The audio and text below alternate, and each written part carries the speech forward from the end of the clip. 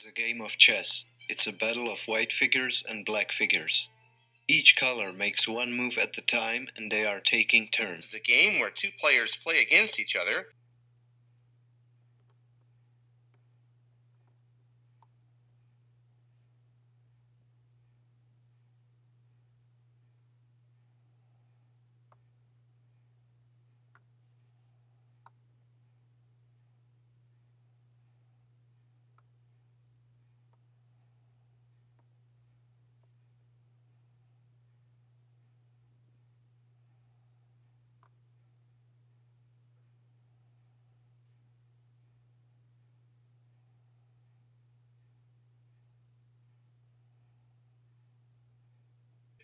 Each player gets a bunch of different pieces that they use to try and go after the other player's king.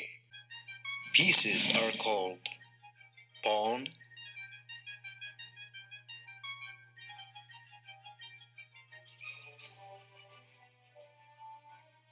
rook, knight, bishop, queen,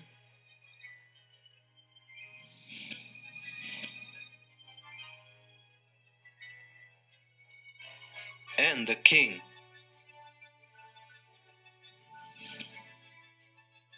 The rook is also sometimes called a castle.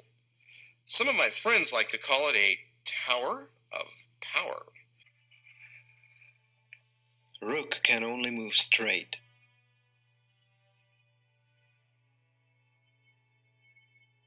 It can go as many squares as board allows it.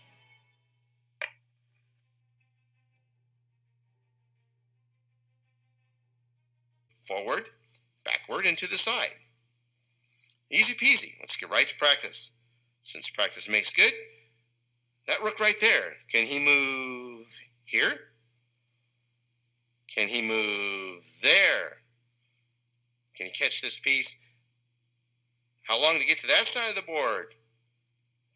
Very good.